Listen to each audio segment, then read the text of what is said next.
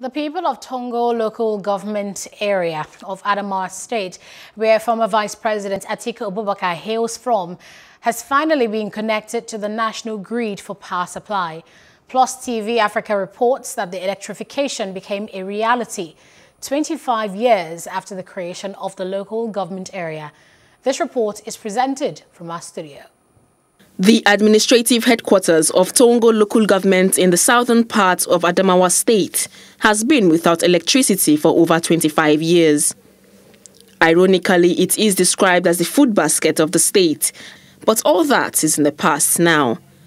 Commissioning the electrification project in Toungo, the former deputy governor of Adamawa State, Senator Bello Tukoro, noted that Fintiri was among the four best performing governors in Nigeria. In the south, or from the west or the east, you see his hand.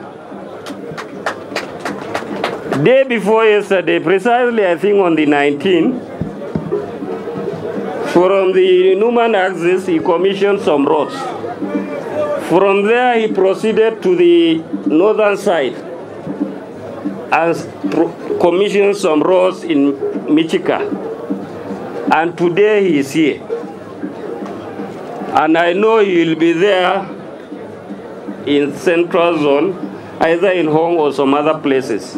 In his remarks, Governor Umaru Fintiri said the commissioned project is the first phase, which is a 33 kV main line from Ganye T junction to Toungo and linked to the YEDC main station with 11 kV low tension in Gamu and installed transformers and distribution lines. The governor added that the second phase is the one from Toungo to Kiri, which takes the line from Toungo to Kiri, which has already seen 90% poles erection and is still in progress, declaring that his administration will soon commission the project. You have over the years been neglected in the development scheme of the state and indeed the nation at large. I made a promise to reverse the trend, change your history and put smiles on those gloomy faces.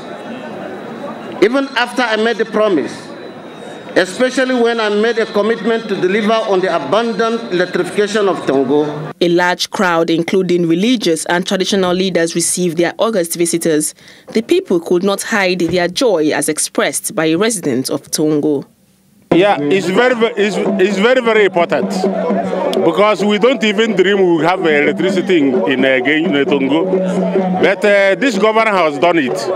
To, to God be the glory. I told a lot of people that this time around, they're going to be a kind of a new thing.